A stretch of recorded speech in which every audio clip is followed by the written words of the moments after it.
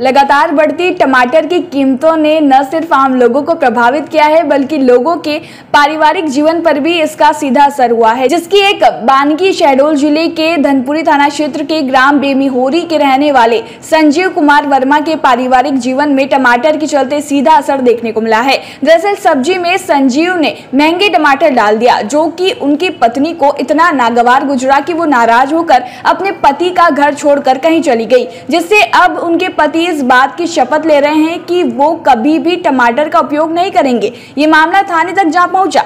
संजीव ने टमाटर के चलते नाराज़ होकर घर छोड़कर चली गई पत्नी की तलाश में। पुलिस से मदद की गुहार लगाते हुए धनपुरी थाने में शिकायत दर्ज कराई है।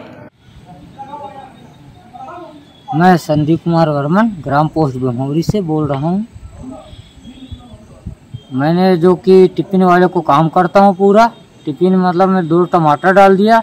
मेरी मैडम ने नाराजी कर दी है, और उसमें जो कि टिफ़िन के चलते हमारा विवाद हो चुका है, वो मैडम चल दी है सुबह साढ़े दस की बस में वो आ नहीं रही है, और जो कि वो रुकी है अपनी मौसी के यहाँ, उसमें भी हम लोग फ़ोन भी लगा रहे हैं, बच्ची से उठवा रही है तो फ़ोन, वो बात तो नहीं कर रही, बच्ची करती है बात, बस मर जाऊँगी, ये कर दूँगी।